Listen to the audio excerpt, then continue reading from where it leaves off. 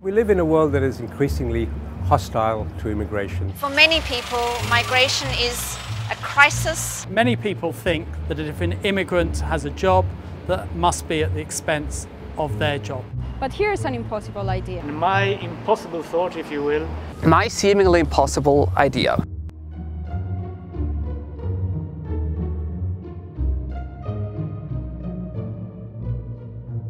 The reason I think this is important is not what you might think,